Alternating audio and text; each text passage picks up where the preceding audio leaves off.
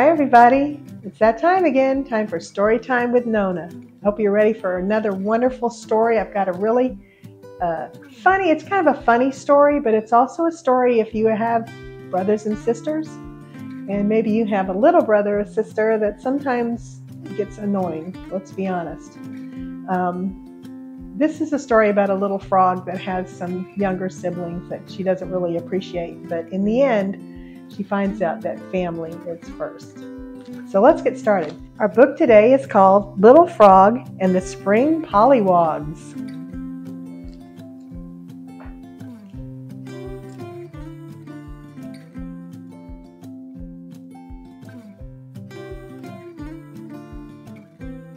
Little Frog and the Spring Polliwogs. Story by Jane Yolen, illustrated by Ellen Shi.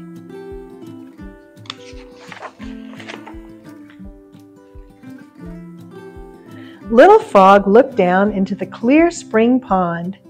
It was green. She liked green.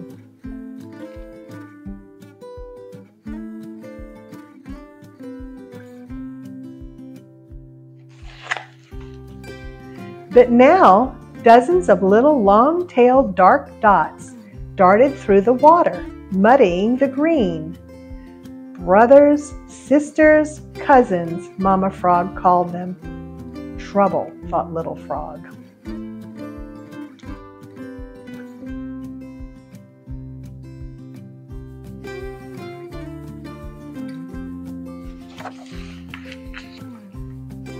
Little Frog liked being an only. She liked finding the best lily pad where she could sit and soak up the sun, not having to share it with some silly pollywogs.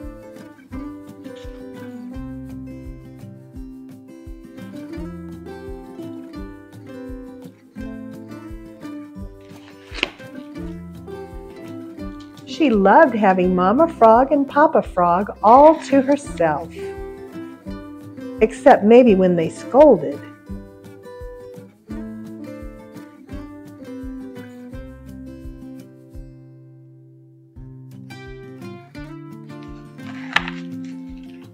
She loved getting the first and biggest slice of Mama Frog's shoofly pie and seconds. And if she really wanted it, thirds. And I bet there are flies in that pie. Yuck.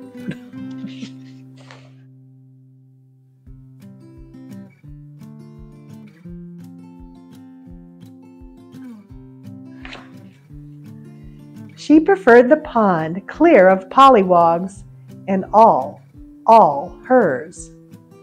Well, except for Papa Frog and Mama Frog and Uncle Frog and Aunt Frog. And this little slippery silver fish that flashed along the water lanes. And the toads. The toads were close enough cousins for Little Frog.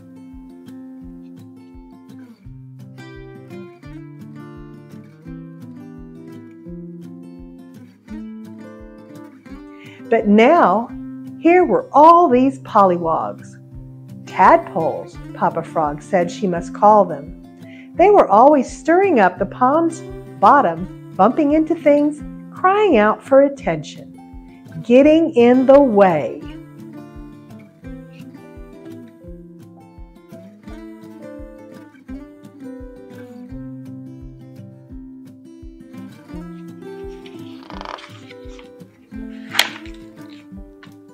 Where will all these pollywogs live when they are grown? asked Little Frog. It's not that it's like a great big pond. Tadpoles, Papa Frog reminded.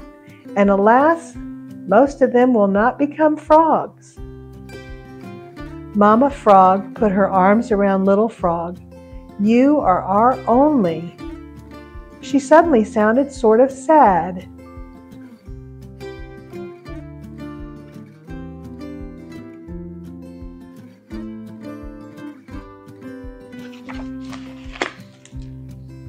Days went by. The tadpoles became only a handful of creatures with small legs and smaller arms. Still too many, Little Frog grumbled as she navigated around them. They reached out to grab her with their new arms. tangled her in their new legs. No, said Little Frog, bad tads.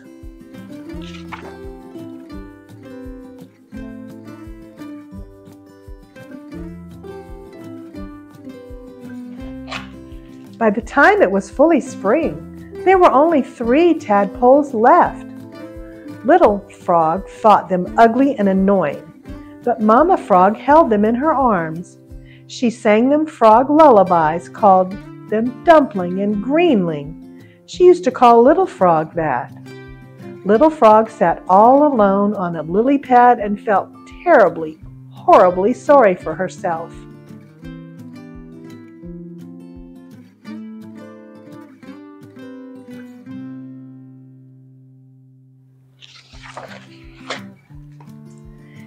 Now, all the grown ups went underwater getting ready for a big block party.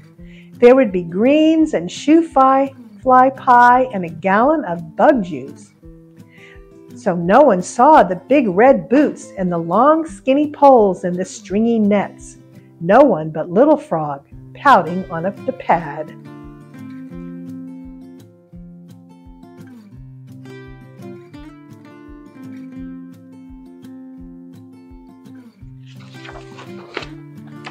Suddenly she remembered Uncle Frog's warning Boys with nets, and off you gets.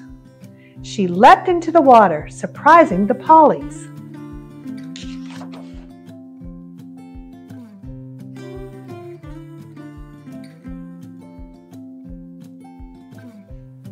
But instead of swimming down to the pond's bottom, as any thoughtful frog would do, those silly creatures headed directly to where the red boots waited with their nets. Serves them right, thought Little Frog, but then she remembered Mamma Frog's sad face. She remembered that once she'd been a tadpole swimming with other dark dotting dots. For the first time, she wondered what had happened to all of them. Ooh.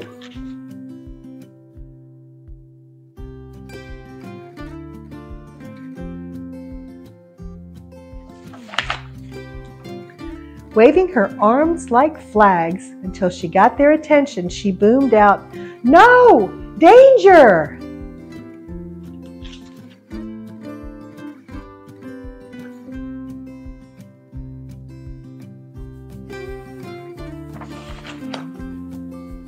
Little Frog's voice was so big, her arms so frantic. The tadpoles turned together and headed to the pond's bottom. There Mama Frog gathered them up and crooned a no danger song. You saved the Tads, Papa said to Little Frog, smiling. Someday they will save you. Little Frog thought about that. It sounded, well, nice.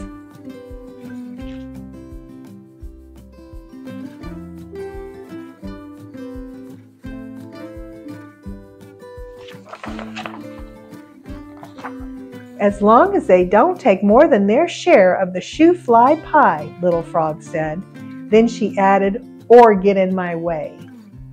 Uncle Frog, Frog boomed a laugh. I'm afraid you can count on them always taking more pie and getting in the way. How do you know? asked Little Frog. Uncle Frog pointed to Papa Frog because your papa is my little brother, and that's just what little brothers do.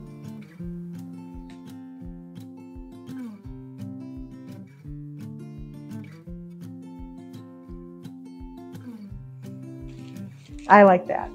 That was a good story. I hope you remember to be kind and generous with your younger siblings. And younger siblings, I hope that you appreciate your big brothers and sisters. I hope you all have a wonderful day. I enjoyed reading that story to you, and I hope you'll join me next time on Story Time with Nonna. Bye.